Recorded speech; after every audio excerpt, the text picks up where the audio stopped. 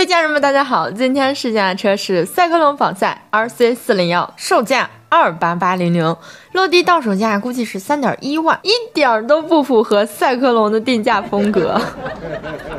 外观第一眼看上去非常抢眼啊，纯纯的仿赛战车，沙鳍片设计很有辨识度，眯眼看甚至有种 CB 二六五零换皮的感觉。配色一共有四种，最好看的配色我觉得是灰红轮毂版本。坐垫轮毂都是红色定制，一般要喷涂这种轮毂啊，起码要一千多块的成本。而四零幺这款不需要加钱就能直接选，可惜下个月才能看到实车，先看看照片吧。我承认啊，我承认，我就喜欢这种骚红色。空气动力学的小套件不光体现在小小的定风翼，在尾翼、导流罩、前脸都给你安排上了一体化的设计，还算用心。不仅仅是外观好看，还有一些实际作用呢。最值得一夸的是后平叉，OE 造型，里外都是一体化的，不是糊弄人的装饰板。再看另一边啊，曲线也有做处理，没什么落差。单看后轮真的满分。跨上去看仪表界面，这个 UI 外观有两个主题，可惜都不在我的审美点上。六点七五寸的 TFT 仪表，感觉在视觉效果上还可以往高端大气的方向上走走。好在显示的内容比较全，里程、水温、油耗、油量、车辆信息、手机投屏等等功能都有，可视度还算不错。手把新增了模式切换按钮，模具还是用了带蓝光的手把按钮，没有重新开发一套集成按键，啊，这点我可以原谅你，毕竟我们定价摆在这里，对吧？但是咱们中间和新按钮漏的这个距离啊，真的可以再靠近一点点，再靠近一点点，我就哒哒哒。你懂得欣赏吗？三星连板，整个金属质感非常棒啊！阳光下还有一些细闪，金属部件的刚韧水平在这台车上是一个明显的优势，甚至还要比它本身的汽水品质来得更优秀一些。但是刚性提升的同时，车重必定会有影响啊！你密度大呀。来到幺七八公斤，马力仍能保持到四十四点九匹，还可以提高高速行驶的稳定性。我觉得这个体重啊，不能说是拖后腿。坐垫非常软弹厚实，屁股夹子的体验非常好。哎，这块板子中间还镶嵌了一个精美的 logo，设计的比较细致啊，这一块没什么可挑。十五升油箱，按照厂家提供的综合测试油耗三点五左右，续航你保守着骑也有四百公里。全车大部分的板块都是贴纸啊，没有封到精油里，有好也有坏吧？细看会觉得档次没到位。好处是可以随意切换板花，不喜欢就直接撕，不会损车漆。但是自己骑啊，如果没有改板花的计划的话，最好整一个车衣，会更光亮、更好打理一些。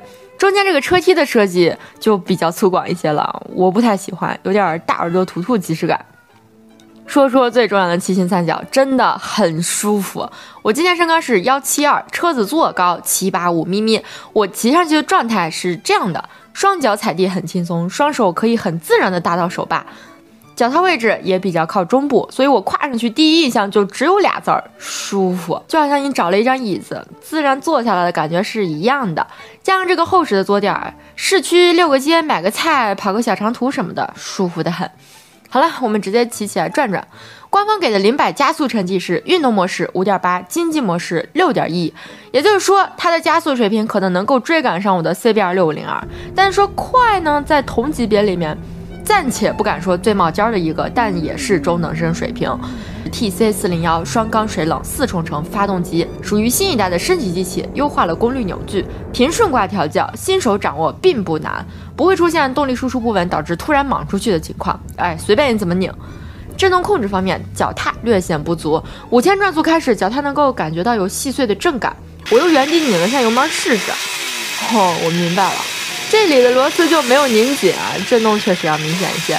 不过呢，考虑到这还是一台工程样车，大概率会在量产车里面完美解决到这个问题，就多拧两圈螺丝的事儿嘛。减震的支撑性还不错，最关键的是还给配了鱼安可调倒置减震，可以适配不同的体重，提供自己喜欢的软硬呃支撑效果。轮胎使用的是振兴 S 一，干地性能很棒，这不仅仅是我一个人说的啊，现场试车的车友们都是一律好评，很稳、很抓、很不错。刹车啊，看看刹车，三百厘米前双碟刹，二五六厘米后单碟，没什么单双碟高低选配的纠结，就是标配。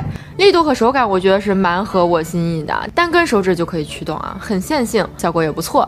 除此之外呢，还要再说说一些细节配置。欧司朗灯珠、自动感光大灯基本不会在这个价位里的车子出现，但四零幺给你安排了四种版画，不仅仅是颜色上的区别，特制坐垫、前后红色喷涂轮毂、可调减震，在这个价位里面加钱也不太可能拥有的配置，但四零幺给你安排了。体验下来呢，就知道这次的赛克龙中心在外观、车架刚性、舒适度三方面。定价二八八零零，真的让我对赛克龙啊刮目相看。那些让我心里别扭的、不喜欢的小毛病都被这个定价打败了。多少钱办多少钱的事儿，才买一辆二五零的钱，还要什么自行车？好了，如果你有哪些感兴趣的车，也可以弹幕留言，我负责记，你负责点个三连。我们下期视频再见，拜了个拜。